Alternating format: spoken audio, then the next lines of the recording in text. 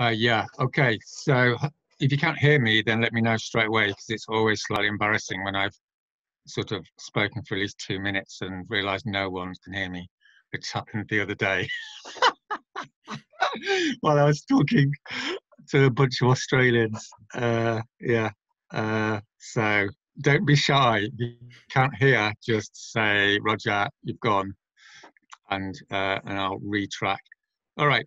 So I've been I've been trying to think a little bit about how all this is working out. And if you haven't sussed out, by the way, like everything's sort of, with even with the best laid intentions, everything's still sort of got a slight make it up as you go along sort of point point of uh, sort of way of doing things, which is sort of inevitable anyway. um, there's never a, a plan that follows the plan, uh, but there is a plan, and the plan is that um, you're doing the heading for extinction talk and then you're going to have these first chapter meetings and then there's going to be a, a sort of moment of truth sort of session which is called welcome to the rebellion. And we're sort of got this idea that we're going to role play uh, on sunday afternoons what you sort of say to people. Okay so that sounds like okay. Um, I've got a few things to say about it. Um, so I'm going to talk for a little bit because I've been trying to find my rhythm a little bit with this, and maybe you have as well. You know, what's useful, what's not useful. Do you, you guys want to hear me rambling on, sort of thing, or don't you? You know. so no one's privately emailed me to say, "That's crap, Roger. Shut up. We'll go on with the job." So um, I'm sort of like going, okay, so they seem to be reasonably pleasant to me so far, so let's carry on. But what the main thing, the main my my main sales pitch here is I'm a I'm a great believer in role playing because you can just like you can just waffle on and read stuff, but until someone's you're sitting on a Zoom call and someone said, right, explain the structure of XR, you know, it's like, and once you've done it, then you sort of feel you're on your way you haven't got that block. And um, so that's what we're going to do. So, you know, once we get into a bit of rhythm, that's what we're going to do. At 10 past the hour, we're going to be role playing. And what, what I did for about 10 years was a facilitation workshop. And I trained thousands of people in facilitation for my sins. And it was just all role play. And it was all great fun because everyone used to think, oh, facilitation sounds really technical. But I just got, eh, we'll do it. You might have seen the video. It's great fun because you get people trying to shut other people up. And one of the ways we always do it is is we just rotate around the group. So there's no getting out of it. So I've got the sort of screen here. So I'm going to start off with Jamie and then go to Jean, uh, G, Gido. Yeah, I think I got that right. Donald, Jay, like, you know what I mean? It's going to come round. So you're going to be in the hot seat sooner or later. So none of that sort of let's stay quiet and hope Roger doesn't notice me routine that a few of you sort of do. Okay, so that's what the plan is. And obviously, if that's not your cup of tea, hopefully, you, well, you don't need to come, I suppose, or at least you can tell me it doesn't work and you just want to read the text and get on with it. All right, so that's the first, that's what I'm sort of thinking of doing. I'm in a little bit of a conundrum about it because uh, Tatiana has done. By the way, if I don't pronounce your name properly, even though I pronounced I pronounced it right for about four weeks, that's because I've got a slight brain defect. I just saw my kids for the first time in eight weeks, uh, this morning, and I, I forget their names, which is which is highly embarrassing. So just go around in a circle until I get to the right one with the right name. I don't know, but anyway, so uh, my apologies. I've got a slight dyslexic thing going on.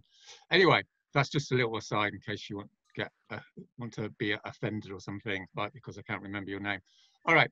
So anyway, the point I'm trying to make here, yeah, the point I'm I'm having a little conundrum with is part of me thinks it what we do the role plays around should come from you. Okay. So, you know, you're trundling through the week and you get into a bit of a panic about something. So, oh my God, I don't know how to answer that question. You know, how does, you know, early Marxism relate to dilemma actions in the 1950s, right? You know, it's like, oh, better ask Roger that one. So you could, so you could basically, we could do it like a surgery where one of you says, I'm having a real problem with this. I don't know what to say and then we'll role play it so it can come to you. So that's the bottom up sort of way. So part of me thinks that would be cool. But then, as I said, uh, Tatiana has sort of sorted out this idea that we're going through all these trainings, which are like the holy grail script of XR sort of thing, you know, where, you know, we've got these four, four or five stages before everyone's totally sorted out and ready to march into Washington or whatever. And, and we're just going to get that off. And I agree, like, it's sort of like the, it's like these, this is the super basics, isn't it? So on balance, we're going to do uh, Tatiana's thing, right? Which isn't Tatiana's thing; it's just her interpreting my thing. But but we we can review it. I sort of think maybe we should just do this so that it's a bit like learning a 10 times table. I'm doing this with my eight year old. It's like you've just got to learn it, you know, that's it before you can do any other maths. And it's a bit like you've just got to learn this stuff. It's like the basics. And then once you've got it, of course, you can really off in your sleep and you can relax and then you can go on to higher philosophical questions if you want or something. But I'm sort of aware as well that you're probably in some sort of agitation personally and socially because of all this stuff going on in America. And I've got to admit, I've been feeling a little bit embarrassed about it because I'm thinking, oh my God, you guys have got all this on your plate. And you've got this weird English guy coming along going, you know, this is the plan. And, you know, you're living it. And what do I know? And what have you. So I feel a little bit like it was with COVID. So the first two or three weeks of COVID, I had that sort of feeling of going, this is all pretty irrelevant because loads of people are dying. And, you know, what, what, but then, but then there was a little bit of a flip point, and me and Dolly suddenly sort of sussed out that this was actually we could play this to our advantage without sounding too sort of manipulative. But it's more like like COVID sort of is this massive emotional upset thing. So let's use that in order to direct us to what the point of life is and what the point of being a good person is and what the point of life is in the climate emergency. In other words, you bring it, that heightened existential emotional reality is, is good, right? Because the real enemy here is indifference, right? It's like, yeah, yeah, you know, everything's fine, you know, there's still food in the supermarket.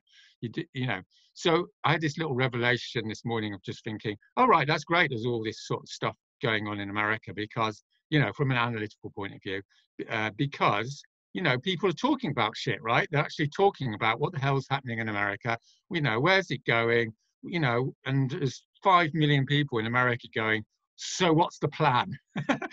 you know, because you usually on social uprisings, everyone gets sort of excited, and after about two weeks, they start going, so, you know, what's what's going, you know, what is the plan? And that question, what is the plan, is the starting point to the Extinction Rebellion proposition, if you see what I mean. And that's great. So maybe there's some way in which, when you're having these sessions with people, whether it's the Heading for Extinction talk or the first chapter meeting or the uh, whatever, you can split people up, first of all, just so people can emote about what the fuck's going on in America. Do you see what I mean? It doesn't really matter what they say about it. It's more like, let's just ground ourselves in this everyday reality of all this, you know, fuckery that's going on, and you know all these competing emotions and intellectual ideas, uh, and and and just getting that out just enables everyone to sort of settle into it rather than just pretending it's not there. If you see what I mean. So what I'm thinking about this, like, welcome to rebellion, basically like this is the Bible session. You know, it's a bit, I don't know, the evangelicals do this? They sort of scoop people off the, the street and then they give them the soup, don't they?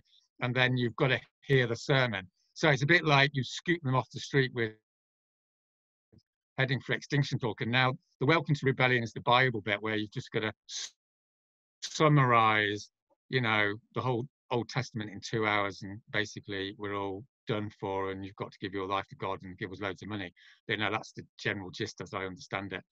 So so what what um what what I'm what I'm going to do is I'm going to give you a little summary of how it all fits together. And I think people will be open to this summary because everyone's thinking about this subject. Okay, so I'm going to do that. And then we'll fairly rapidly go through, very superficially, we'll go through the three areas which are in this introduction, which is story, structure, and uh, story strategy and structure. I'm not sure that's the right, right, like. It definitely starts off with story. So you think this is all a little bit like colonial sort of English stuff. It actually comes from America. So, so the guy, the guy who I want to talk to you is um, is uh, Paul Engler, by the way. He's uh, I'm very honoured to say he's a mate of mine now, and um, uh, he's the he's the godfather of American uprising theory. so no doubt he's not getting much sleep at the moment. But I want to get him in to talk to you guys, just so you don't think that this Roger Hallam guy's just all talking bollocks or something. Because basically, I'm just following him really with a few add-ons. Um, all right, so so I'm going to give this little spiel, and then I'm going to ask one of you to summarise it for me um, I'm going to say Jamie because she's next to me on the sc screen so she can be prepared.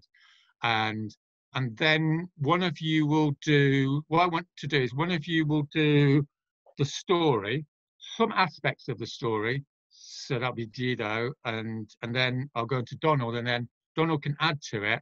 And then we're going to uh, LJ and so on. Okay. Um, and we'll do, so the idea isn't that we do a comprehensive thing here we're not going to, we don't really have time and you know maybe we'll come back to it next week possibly maybe we should uh, tatiana because it's quite a big session and also i've had a look at the blurb and it's still a little bit fuzzy how we actually fill these four hours up so i'm going to say a little bit about that and i'm going to raise it on monday so you've got a little bit more of an idea i mean the, the number one principle here by the way is 50% of every training session should be participation right please never do half hour lectures. um, um, yeah, all right. So this is my spiel about, and this is sort of how I might introduce it. And, and again, the whole idea of this is to get it wrong so that someone else can get it right. So I don't think this is the final thing. Um, all right, so it goes something like this.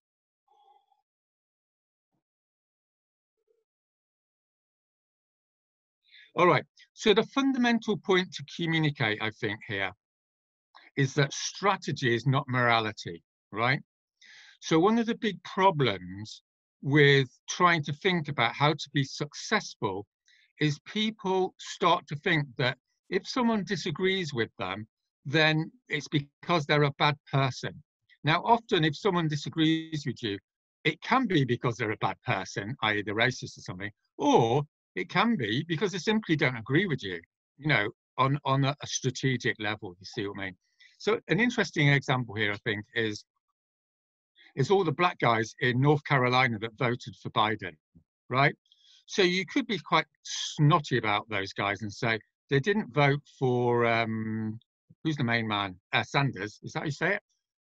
Um, yeah because you know they're liberals or they don't really understand the American power system or glum bum bum. So you could be quite nasty to them, or you could say, "Hang on a minute, you know that might be being quite disrespectful. Maybe the black guys in North Carolina have actually got good reasons to be suspicious of all these radical lefty northeastern United States, you know, come down here, tell us what to do routine types, right? So that as soon as you open up the idea that maybe they've got a, different strategic orientation, then you can have a civilized conversation. You can see what I mean. You don't have to be shouting that you're racist or you've got false consciousness or you're just liberals. You can say, well, actually, maybe you're wrong. And these are the reasons, in order to actually give the reasons why. Okay, so that's that's the turn that takes people from sort of immature social uprising sort of thinking to mature social uprising thinking. So the in, in the 20th century, there was a respectable tradition of intelligent social uprising theory, if you see what I mean. So intellectuals would get together and they wouldn't shoot each other over disagreements. They'd say, actually, maybe you're wrong because of these reasons, all right? So what does the what do like the Paul Engler professionals of social uprising theory have to say?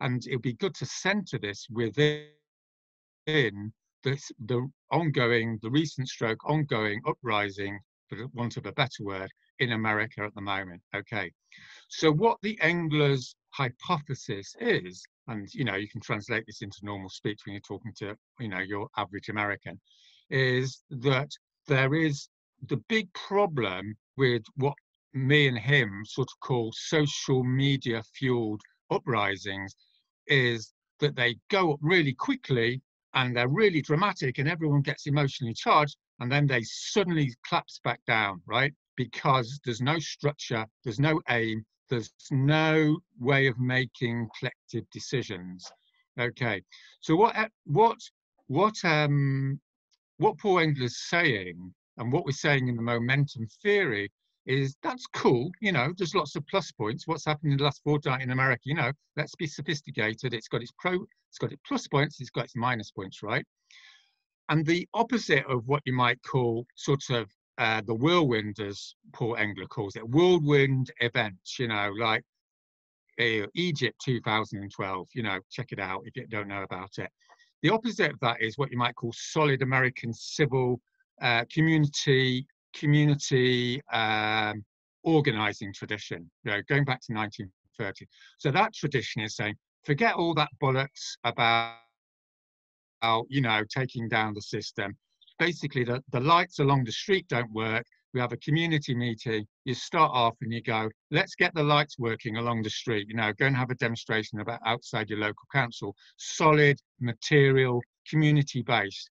And you go bang, bang, bang, one thing at a time, right? not all this big high fluted sort of university educated sort of rubbish, right? We're the working class in Chicago and we just want something slightly better, you know, blah, blah, blah. So classic example of this is, of this is Rules Radicals, Alinsky, whatever it's called, you know, put him on your, your reading list, right? You know, gutsy, no messing about stuff. Okay, so what Paul Engler's saying is that's cool, that's cool, but like nothing, you're not going to bring down the system doing that because it's too slow.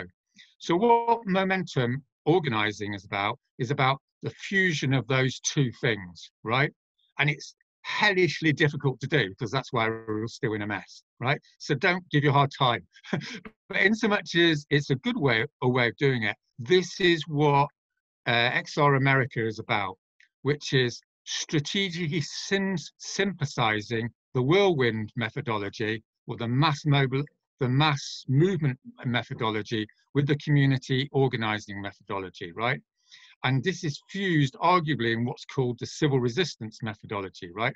The civil resistance methodology, which you can read about in, in uh, Chenoweth, is these, these momentums, processes, usually go the, the only, yeah, that's her, sorry, never can pronounce anyone. Uh, she, um, she, her, her her um, uh, her study comes up with the idea that these mo these episodes last three to six months. Okay, so they don't last like a month, like what's just happened in America, arguably, or what happened in Egypt in 2012, and they don't last like 20 years, like Chicago community organizing, right? In other words, this is what we're doing. We've got a period now between now and next April to mobilize 50,000 people. And what we're doing is we're doing several things which synthesize the two things. And this is what you're selling to people, basically, in welcome to the rebellion. So, first of all, you're selling a structure because without a structure, then things collapse. In other words, you have, for instance, you have affinity groups. The affinity groups support each other. They know who they are. They know where they live. They know their buddies they can go to the hospital and pick them up you know there's like a pre-existing support structure and and they're trained. They're trained in non-violent discipline so when someone hits them they don't hit them back and they've practiced it like they did in you know in the, in the civil rights movement in the 60s right? If you haven't seen those films check them out. Like it was their role playing was quite full on.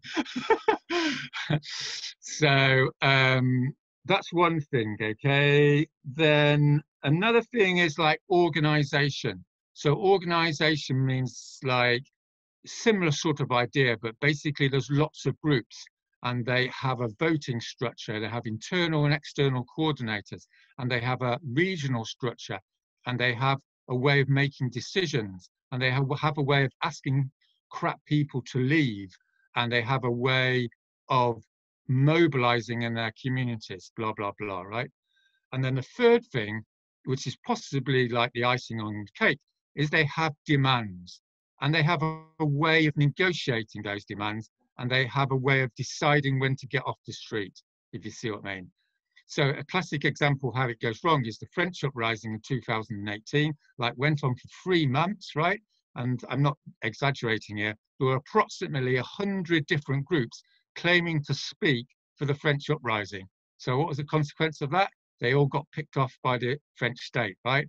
By, the, by April, there was only like two or 3,000 people mobilizing because they structurally couldn't decide how to decide. You see what I mean? Because it just started one weekend with some you know, 60 year old women in regional France going, fuck that, I'm just going to block the road, you know, when they were told that there was going to be a eco tax on their diesel. All right. So, so you can sort of see see what's happening in America. Maybe you've got a better idea of what where it is along that continuum. My feeling is it's about 20, 80% social media fueled mobilization, 20%, you know, sort of momentum organizing. So what you need to make it is 80% momentum organizing and 20% social media fueled mobilizing, if you see what I mean. So you're always going to have, but there's nothing, there's nothing like, there's nothing super, there's nothing um, sort of clean about this, right? This is real life stuff. You're always going to have people throwing stones, right? but you, the thing is, you've got 80% of people that basically know what the deal is um, so, for instance, that's you know in the children's march, if you if you watch that video several times, you realise how chaotic it was. You still had people throwing stuff at tanks in the street, right? But most of the guys were doing the main routine. So that's like your the sales pitch here. Then is is that's what we're doing here, right? What we're doing is fusing those two traditions because every successful uh, uprising is momentum driven, right? There's been no successful social media fueled uprising since 2000, right? All the orange, all the red, orange uprisings, you know, in Ukraine, in Lebanon, they've all got nowhere. Egypt, they've all got nowhere. Why? Because they didn't organize in a classical way, you know, in the sense that they did, say, in um, the last sort of classical uprising was 1997 with, uh, I think it's 1997, 1996, with Serbia. So Serbia used the Gene Sharp methodology, right? Highly organized, highly disciplined. If you wanted to be part of the uprising, you had to go to a weekend course, right? Welcome to the rebellion, that where everyone is told to maintain non-violent discipline. So you can check out Blueprint for Revolution to work out how that works. So that lineage goes back to Martin Luther King, to Gandhi, to Gene Sharp, to the sort of classical 20th century hierarchy organized sort of uprisings. Since 2000 has been the sort of horizontalist dogma uprisings, and they've not succeeded, hence the reassessment, if you see what I mean. So it's important to know where you are in that trajectory. Um, okay, so there we are. We've only got 20 minutes left. So we'll definitely do two sessions on this. so what I want Jamie to do is to summarize what I've said, add a few personal bits and uh, and don't worry about getting it right. And and then we've got two sort of bites of the cherry. But this is the sort of introduction to your Welcome to Rebellion session. So Jamie, for three or four minutes, just say whatever comes to head or whatever you've got. Thank you, Roger. All right, so from what I was hearing you say is that you mentioned story, strategy, and structure. You mentioned discipline and momentum, that 80% of the movement has to be momentum, while 20% of the organizing is done through social media. You've um, mentioned that we look at the other current and recent past uprisings and that um, we need to be organized, disciplined, and structured, and we need a plan. Does that sound, is that about right? Yeah. Anything you want to add? Uh, I completely agree with you. I think that personally trying to put that together right now with so many different people and so many different people's input coming from a place where there is no hierarchy um, how do we make decisions fast enough for us to make a real impact without it taking a month or two to decide on just doing a simple action. Um, and i wonder about as far as our regenerative culture are we as um are we capable of it really? Like are we capable of being able to really work together? Um not that i doubt it uh, but it is a it is a question that i've i've yet to see really um, take place to the extent i think it needs to take place but i'm hopeful that it that we can do this so that's my personal thoughts Great. Well, that's going to have that's going to be your standard response, isn't it?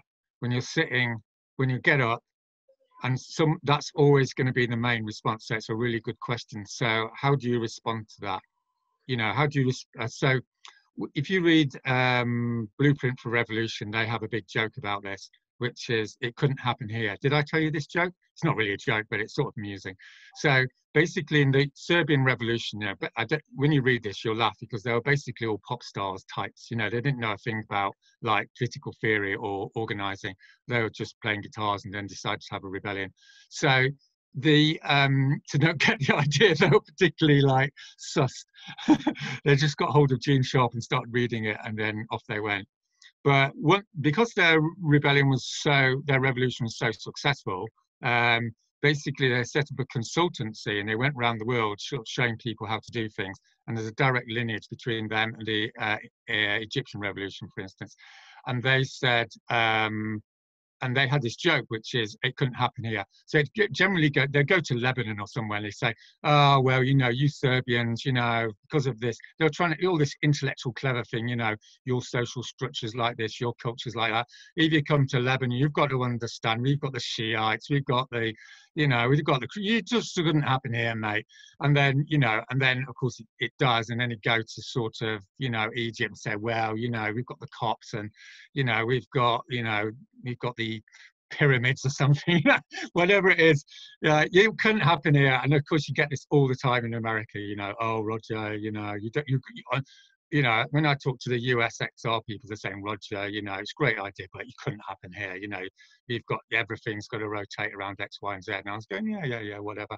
But like, so, so the point, the point is, is culture trumps structure, right? This is a big thing in social movement theory. Is over the last 20 years, they finally sussed out that structure is pretty irrelevant. The, the, the agency is what we're doing in this room now that's what Chenoweth says, which is the, the agency is activist organization. Doesn't matter how bad the situation is or how good it is. You know, I mean, preferably it needs to be quite bad if there is anything. So you can check out like uh, Larry Kramer on this. You know, uh, just reading the biography, 400 pages on ACT UP. and basically the main thesis is that it was so bad in the 80s that that's why they succeeded, right? Everyone hated gay people. That's why. So it actually triggered it, uh, if you see what I mean. So, in other words, and this is a good argument for Trump, of course, it's a bit of a slightly tricky argument, but the argument is Trump is so bad that it triggers an uprising, and uprising brings about social change. You know, if it's just some run of the mill Republican, then people wouldn't be so mad. I mean, you know, it's tricky argument, right? Because, you know, you don't want to be going, well, Trump's great, but this is like difference between morality and analysis, if you see what I mean. All right, so G, I'm really bad on your name, so I'm just going to ask you. It's Guido with a hard G. Guido, that's so bad. I'm never going to get that. Guido. So Guido. Guido. It's Italian. Yeah, it's like uh, Domio, right? I keep calling her. I I still can't get her name, but she's a Buddhist, so I, am I'm, I'm all right. I'm safe. But, right. um, yeah. anyway, so you reply to Jamie. So Jamie said, or someone's saying, okay, Guido, you're like, you know, that's great, but you know, this isn't going to happen in America. Like Americans just can't organize. They're just all over the place. You know, this is the land of the free and the brave, and people don't want to. They just want to do their own thing. They want to go to, you know, what's that supermarket called you have? Walmart, right? And watch Netflix. People just can't get their act together in this country. You're just wasting your time, mate. What do you say?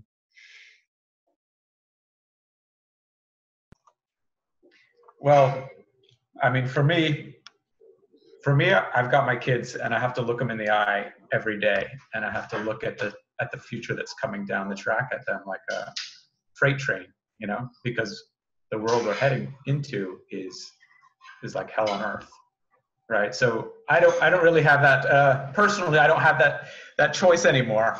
Um, and you know, I guess a, a lot of people that are that do have kids that have a similar they maybe they, if they haven't opened their eyes, you know, they're kind of oblivious. But once you start to look at it, you can't ignore it. Um, and so for me, it's about uh, doing what I have to do right now. It doesn't matter so much whether whether we succeed or not, you know. Um, but I do I do have faith that once people start to act, that they that other people recognize it, right?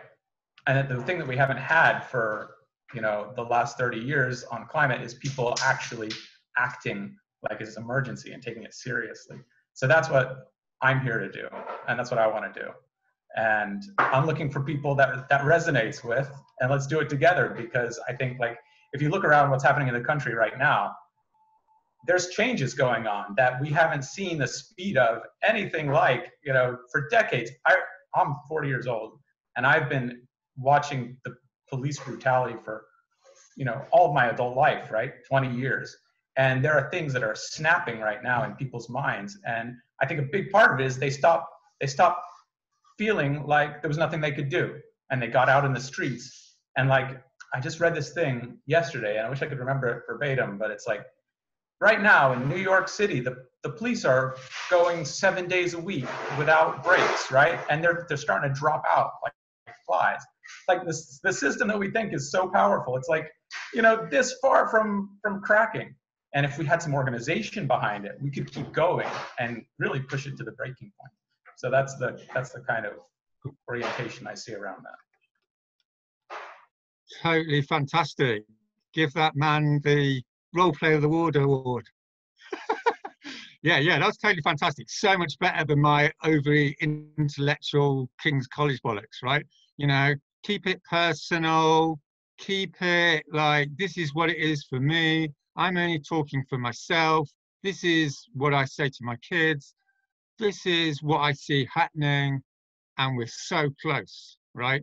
So that's good, right? And just for the, you know, just to be do my little intellectual routine, the industry average is 10 days, right?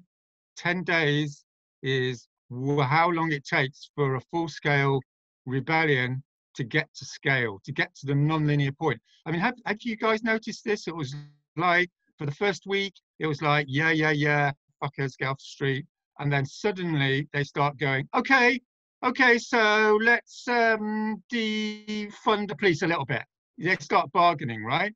Like that happens in every contestation around 10 days, maybe a week, maybe two weeks, but no, it happened in, in October, right? You know, in, in after day 11, the police said, if you go on the street, you know, in super liberal Britain, they said, if you go on the street with two people, you're breaking the law, right? They started getting really like macho about it.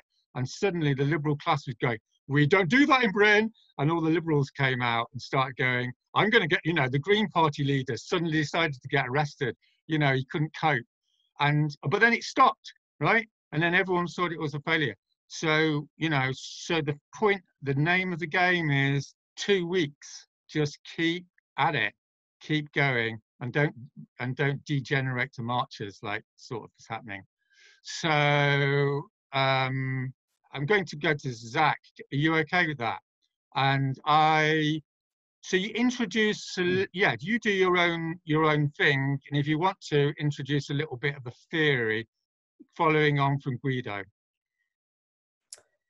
um Okay. So like so as we're seeing in the news, there is a lot of unrest and uh, a lot of problems in our society.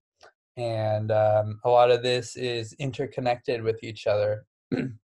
uh, what is like social issues, what is uh, environmental justice and politics, how humans interact with it is all also environmental issues. And while we are uh, seeing these this unrest for justice and change um, it is starting to come to a tipping point and starting to get more and more of a issue of a problem. You know this is something that we will see generations after generations uh, our society is going to crumble really soon unless we do something about it.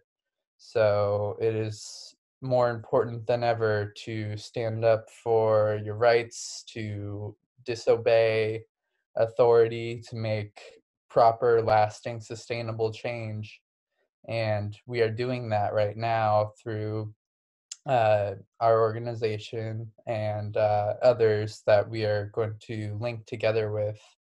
And um, yeah, uh, it is now more important than ever to have our voices heard, to have these demands that our leaders aren't willing to hear or see or consider, and have it be addressed not only for us, but for future generations to make a sustainable change.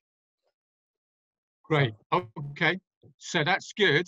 Um, but let's assume they've got the story now, right? Okay. But they actually they want to know. Let's assume they actually want to know concrete what this means. So Nick, what I want you to do is to summarize what the specifics about this mobilization that makes it different from a social media fueled mobilization. So what is it about the structure? What is it about the organization? What is it about the plan?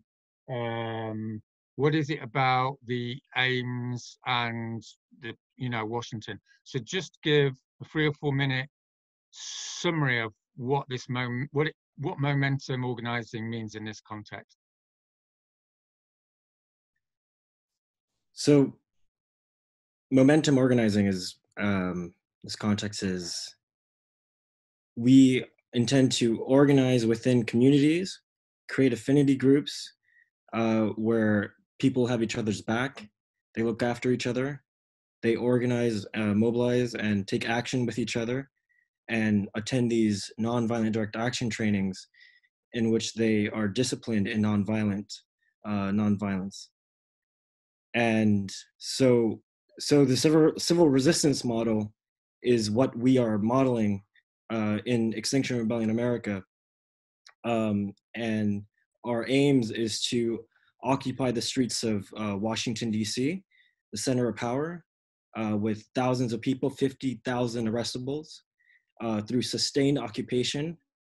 Um, and so we intend to break the law in order for the government to concede to our uh, clear demands um, are for radical political change. Um, and so we are we're going to be organized, right? We're going to have a structure. We're going to have inter- internal and external coordinators, and we're going to mobilize communities all over this country, um, mobilizing towards that goal. And so, um, yeah, I guess that's.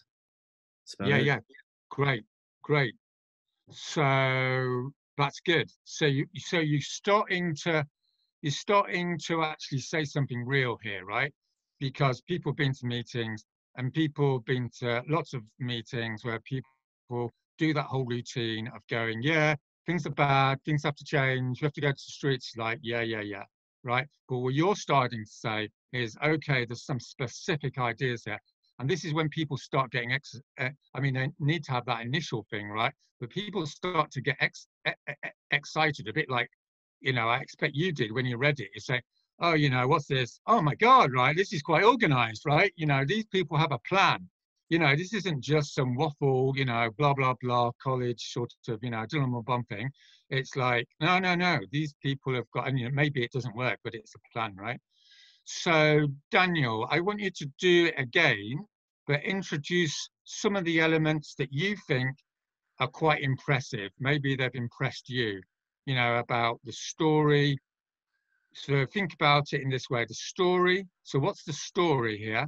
Um, what's the what's the strategy and what's the structure so think about it like that don't worry if you don't get it all in right just some a few bits and pieces um, and then we'll see how that works sure yeah I mean, the way I look at it is that the the facade is starting to crumble. A lot of people who had faith in the sort of liberal progressive system that we can make small incremental changes to create a society that takes care of everybody, that is becoming obviously false. And I think the message that we have from Extinction Rebellion and climate, the climate world, to the rest of the greater movement is uh, you're right, we're out of time. We don't have time to uh, repair our society. We're in a revolutionary moment right now. So um, that's what Extinction Rebellion is sort of riding on, riding on that wave of. Um, we really have to address the whole system. And we recognize that the only way we're going to do this in time and effectively is through mass civil disobedience and essentially um, taking down the regime that's that's responsible for uh, our path to destruction. And the important thing to recognize is that movements of the past have failed because they don't have adequate structure. You know, we're trying to get as many people into the streets of Washington, D.C. as possible. But if we take down the regime and there's not a plan to follow it up, and there's not sufficient structure within our organizing, then it's going to be really easy to undermine the movement or even replace it with something worse. So that's why it's really important we have structure. Um, we have a decentralized system, um, which avoids a lot of the problems of the past in revolutionary systems of hierarchy, um, the revolution going bad. So the structure really addresses um, how we have to do this revolution as safely and responsibly and in response to what we know from uh, the social science of revolutions. So uh, we have coordinators, we have different affinity groups that have pre-existing relationships. And basically we're building as much like trust and relationship and um, different groups and circles into the system as possible. So it's as resilient as possible. And um, just, that's a little bit about the structure. As far as strategy goes, um, basically we recognize that mass civil disobedience is the only thing that can get us out of this mess in time right now. I guess right. I'll leave it at that. Okay. Yeah, let's leave it at that. That's good. So you said you start so start thinking about these three things that are talking momentum, okay? When you're structuring your little pep talk at the beginning, as it were, you're you're you know, you're doing what Guido did, which was the personal thing at the beginning, which was really great. And then you're starting to develop what um, Zach and Nick and uh, Daniel have just been doing, which is just starting to do a summary. So what I would sort of orientate ourselves here is you're sort of setting the scene at the beginning of the Welcome to Rebellion. And then, you know, you're going to have breakout groups, people can discuss it. And then people come back and then you're going to do a good 15 minutes on each one. Do you see what I mean? And then you can go away and actually plan that talk, that 15 minute talk where you go, okay, this is the story, and you've got your 20 points you've got to go through. See what I mean? Uh, this is the strategy. Okay, 20 points. This is the structure. Um, so for in, so you're started off with the story, and you're going, we're out of time. We need systemic change. Then you're going on to the strategy. The whole system needs to change through mass civil disobedience. There's no time to do anything else. The structure is it's non-hierarchical, it's decentralized, it's aimed to be safe with affinity groups, let's say, uh, and um, and such like. Okay, so there's a few other bits and pieces that we can probably add to that. So we I'll, we'll go for another five minutes because I want to include um, every everyone actually. So I'm going to do some maybe something fairly quickly with JLo, Parker, and, and Jolly. Um, so do it again, JLo, but just a story, strategy, structure, and just throw in a few new sort of bits which you think are useful. By JLo, do you mean LJ? Yeah, yeah, yeah, yeah, I do. JLo's that other dude. I just I just put that in. I was looking to, around. To, like, where's Jalen? Yeah, yeah, yeah, yeah, yeah. J LJ. Oh my God, that's like the opposite way around. That is that's the end of me. I'm gonna retire. Anyway, right. awesome. Okay. Um, well, thanks everyone for being here. Um, yeah, I mean, you've seen the Heading for Extinction talk by now. You might have been to a chapter formation meeting. You know, you're still here because you believe that things aren't right, uh, and they aren't right. You can look at the protests going on right now.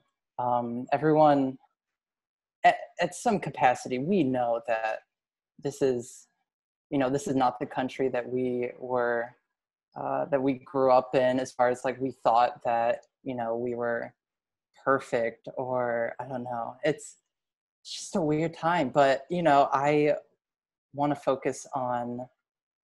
Sorry, I when you said J Lo, I was just not expecting for a second. okay, I'm gonna I'm gonna start over a little bit. Okay. Yeah, So, yeah. So anyway. story, story, strategy, and structure. Yeah. Gotcha. Okay. So time's up, everyone.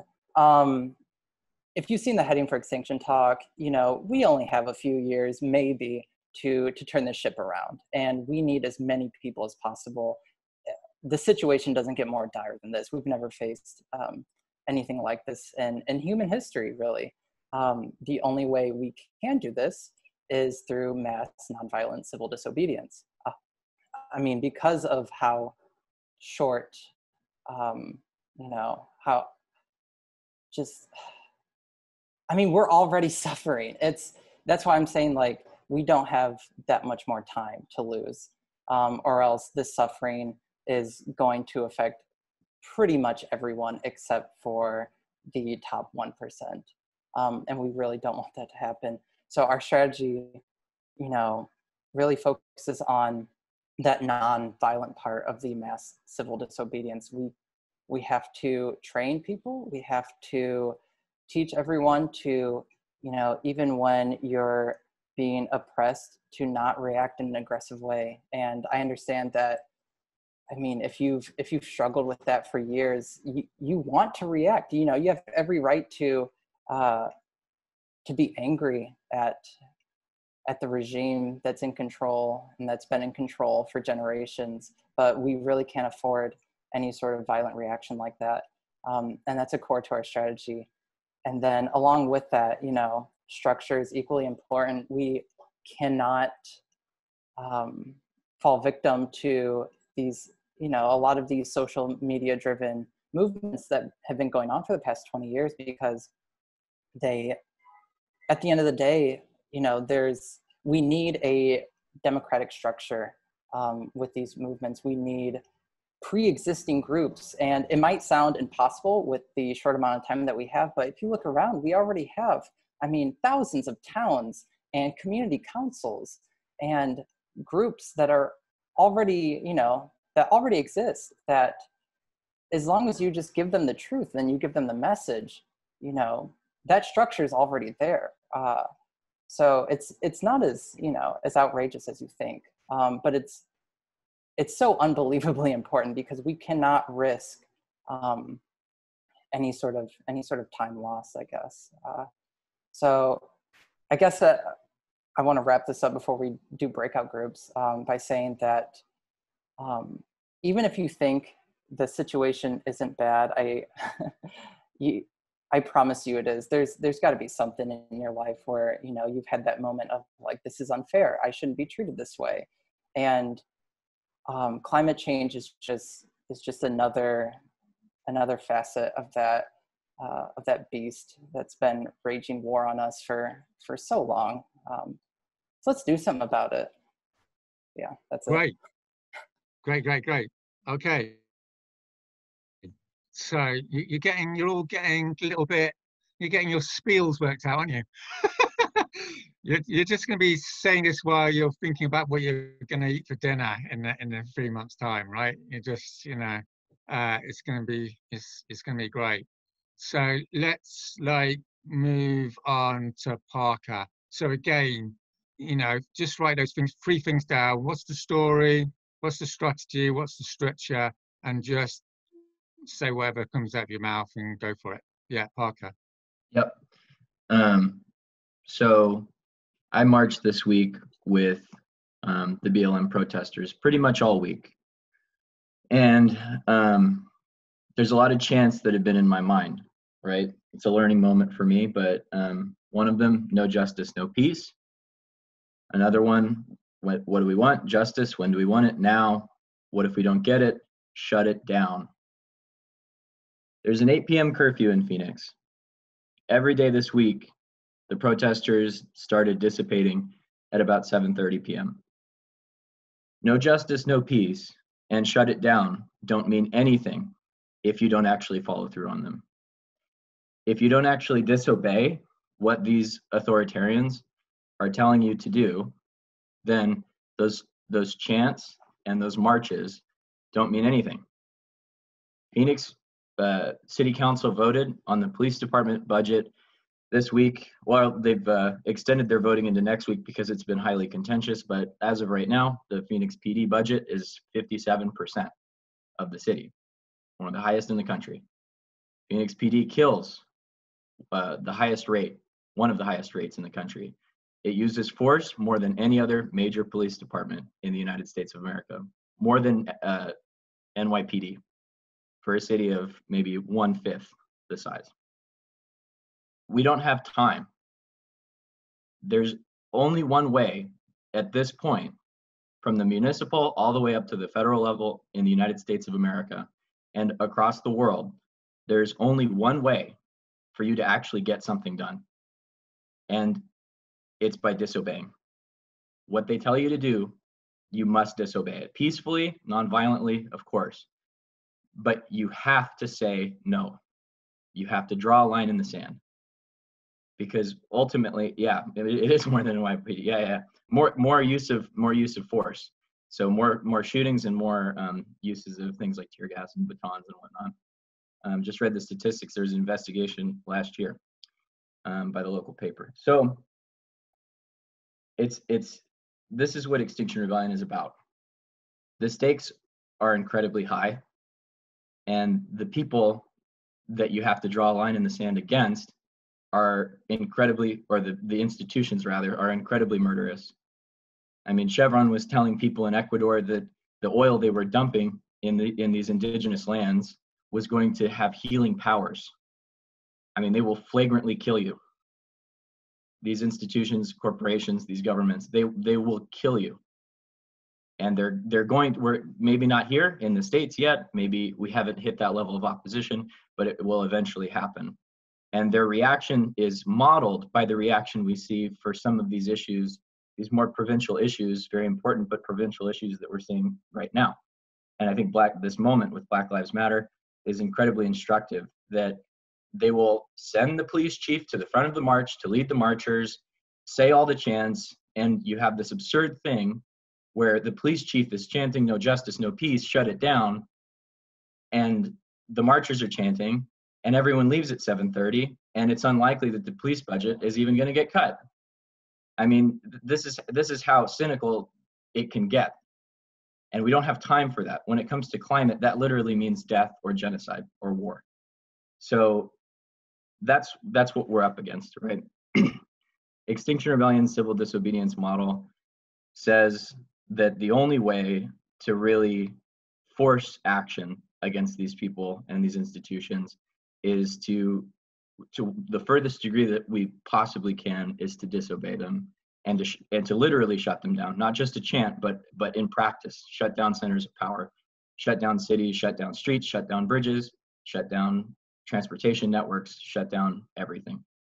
Um, and i don't know if you if this moment doesn't make it clear to you how authorities react if you don't shut things down if you just ask politely or if you cooperate with them uh, or if you let them co-opt whatever you're do- doing then i don't know that you're paying attention. So um, i forget the third part St- strategy story strategy structure. Yeah structure that's great roger? That's great. Okay good good good That's great. Really great. um, yeah, I'm not going to comment it. It's quite, you know, you're just putting your finger on on the button. That's exactly what we want to do. Um, see, you, you know, I mean, how I'm feeling is this particular time, you know, you, you can sort of feel how it basically is. It's it gives a seriousness to what this project is about, if you see what I mean, because everyone's thinking about it. And you can sort of feel how that can actually aid the mobilization. You know, you see what I mean? Uh, in a in a funny sort of way. So let's finish off with Jolly, um, and then we'll have a, a, go around and we'll carry on next week. So Jolly, yeah. Yeah. Uh, so you've got, yeah. Sorry. I said gladly, but would you mind throwing the prompt at me one more time? Yeah, yeah, yeah. So whatever comes into your head, don't worry about how it comes out. But basically, something about the story. What's the story here? What's your story? What's the strategy? What's the plan? Um, and what's the structure? How's it going to be organized? Well, you know, this isn't the first time that people are, are learning about what civil disobedience can do. Uh, in our lifetime, in this past week, we've seen what's happened in LA. Uh, with just one week worth of civil disobedience, people going out there, putting themselves on the line uh, about something that doesn't directly affect them. You know, a lot of white people out there protesting, knowing that the benefits are never going to directly impact them. But just a week worth of being disobedient, we've gotten 100 to 150 million dollars out of the budget that goes to LAPD. I mean, think about what's going to happen when we've been out here for two weeks. That's that's the power of, of civil disobedience, uh, and you know that we are wearing down the powers that be. And I think that that's something that's really important with the way that XR is structured, because it is so decentralized, and because you can have people swapping in, coming in as they're able. Because we have a regenerative culture, we can outlast any authoritarian uh, jackbooted government. Where's the last one? Story structure. I forgot the last one. Strategy. Strategy. You know, that's why that's why are going to gather enough momentum and we're going to have enough people to talk to other people that they already know and that they care about and say, hey, here's something that we can't ignore because it's going to affect you. It's going to affect everyone who uh, is descended from you, and it's going to affect every other human being in the world as well. And Right. we've got by April to make something happen. Great. Okay. So, yeah, yeah, yeah. I'm convinced. You've got me. So, Sign Roger, do you want to hold this sign? yeah, yeah, yeah. Just tell me what to do, mate. Just tell me. I'm all yours. uh, yeah, yeah, yeah. Um, uh, yeah, well, yeah, I'm excited. That's good. That's good. You guys are good. So, um, so two little things before we finish. Just have a quick go round. This should be in my other meeting, but I think it's really interesting. So, two little things. One of the things that just leaps out with me is this thing about the police. I think someone said the police basically are knackered, right? So, as professional social revolutionaries, that's your key metric, right? Is when the police get knackered, is when st- change starts happening. Like in the October Rebellion in the UK, like oh knackered, yeah. What's knackered? Yeah, sorry, translation. So uh, exhausted. Uh, yeah, yeah, yeah. Um, so in the October, um, you know, 1,800 arrests in 10 days. Like the police were saying, they were arresting people and they were having a conversation in the front, front seat and they were going, we've just done like four 12 hour shifts. We're so fucked off. Shall we just drive around the corner and let these guys out so we don't have to process them at the police station? Right? They were having conscious conversations about that. Just, just over it, right? You know, dragging grannies into police vans like four days in a row. So the same things sort of happening in New York and very. So it's interest. It'd be interesting to try and capture either stats or or antidote some some sort of stories around that. Do you know what I mean? Because stories and stats are quite powerful. You know, to actually show this is how, how it works. Um, and the other thing I'd say is is you're in your little teams, aren't you? So what what you know what you can do, and this might sound a bit weird, but I think it's really good, is get into pairs and do it like four times, right? Just keep doing it. So you've got four minutes each. And what once you've done this about three times, you start sounding pretty sexy. You know, you start sounding bang, bang, bang, bang, bang, right? You know, like the first time you're a bit like, uh, and there's that, and um, yeah, strategy, so does that. But by the time you get to your fourth time, you're going, you know, you start sounding like Martin Luther King, which is where you want to be, right? You know, it's just like, you know, you know, these people did like three speeches a week for 20 years, right? They could just turn up and spiel it out. So, and also you start get if you do that, you start getting in touch with your emotions a bit more, which is what it's all about. You know, you actually start, you know, start thinking. We did this thing. I don't know if I told you about this, but we did this thing where we, we were like 12 people in a room and everyone said to the other person the only question you ever get asked by the media which is why are you disturbing people right there's only one question isn't there you know why are you stopping people from getting why are you closing you know blah, blah, blah.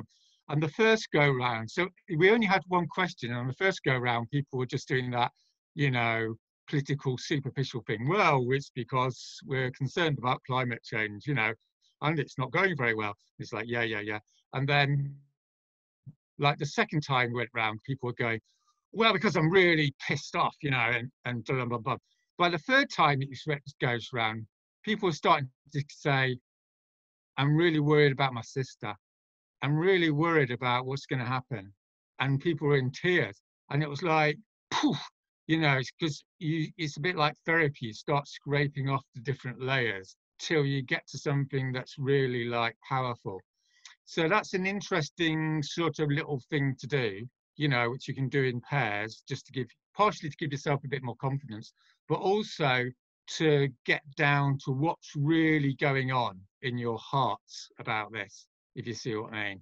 Because we've all got that going on, haven't we, deep down? And that's what's gonna, you know, I mean, obviously it's good in itself and all that but the fact of the matter is that's basically what empowers other people as well so you can do that and then next week then we'll um we'll um we'll try and focus on the job as it were and uh, and and focus a bit uh, on those three sections if that's all right with you tatiana yeah um got got it right there um which is so maybe you should check out in the next week is your homework if that doesn't sound too tricky. Uh, have a look at the documentation. I'll ask the core team guys on Monday what's going on with that. But the basically we need to have 15 minutes spiel on the story, on the strategy, on the structure. And also we need to be thinking about what exercises they do in order to sort of, you know, sort of uh, incorporate that, as you might say, um, rather than you just talking all the time. Okay, so um, shall we just have a quick go around? Um, yeah, so do you want to start, Guido? You got it, perfect. um, yeah, I'm feeling good. I'm feeling excited for uh, this evening. Going to talk to some folks and, um, you know, get uh, get them in the room together, and hopefully we get the first chapter going here in Miami. Uh, Tatiana? Yeah, I'm really excited to put this all together and um, hopefully, I don't know if my team is down for it. Like, can we practice what he was talking about after the call? Because, yeah, that'd be amazing. And yeah, learned a lot. Thank you. Um, who's next? Um, I'm going to be dictatorial. I'll just go through. Jamie. Hi, I'm totally excited. I just want to say I did get the book, Roger. Oh my God. I'm really excited to start reading top it. of the class. Put her to the top of the class now. She's got the book. Thank you. Thank you. All right. Um, you can go ahead and hand it over, Roger. Thank you. Oh yeah, Daniel. Yeah, I just feel really impressed by all the other mobilizers. Really uh, glad to be part of this team, and uh, really glad for your instruction and time, Roger. Thank you. Check. Uh, Donald. Um, yeah, I'm excited uh, to use what we've learned here. Uh, we've got some good stuff uh, from this session and uh, excited to keep it moving. Great. Um, thanks. Uh, Nick? Yeah, thank you, Roger. Um, so looking forward to that welcome call that Guido and I are gonna be doing to form the Miami chapter. Yeah, thank you. Yeah, great. Uh, Zach? Yeah, it was great. Um, good stuff about like framing and uh, even just more articulating our message. So that's always really helpful, and I always love learning that. So thank you. And Jolly? Hey, thanks again, Roger. Really excited to have uh, your leadership like this on, on the calls. I know that we've got so much to learn from you. At least I've got so much to learn from you. Uh, it's it's really powerful. It's really exciting. Uh, the revolution will not be centralized. okay, and Parker. Yeah, thanks, Roger. Um, thanks for this talk, and also thanks for linking me. Your friend Jamie also sent me an email, so I, he sent me a long thing about um, what we're talking about. So I'm happy to get linked up with him too. Um, Tatiana and Guido and Nick, do you guys, if you guys all have the time, do you mind staying for just like a few minutes? Because I was curious to ask um, what you guys are up to for practicing. Um, and the, to the rest of you, thanks, thanks everybody. Yeah, everyone had great, um, great things to say. So. We might have to jump on another. Oh, Tatiana, you're hosting, so you can just hold the call, right? Okay. Okay, yeah, yeah, that was great. Thank you, thank you very much, everyone. Um, and um, see you same time next week. Oh, well, see you in a week. Yeah, great. All right, take care. Wednesday, right? Well, we'll see. Wednesday, yeah, yeah, yeah. Wednesday, yeah, with the great Dolly. Yeah. All right. Thanks, everyone. Take care.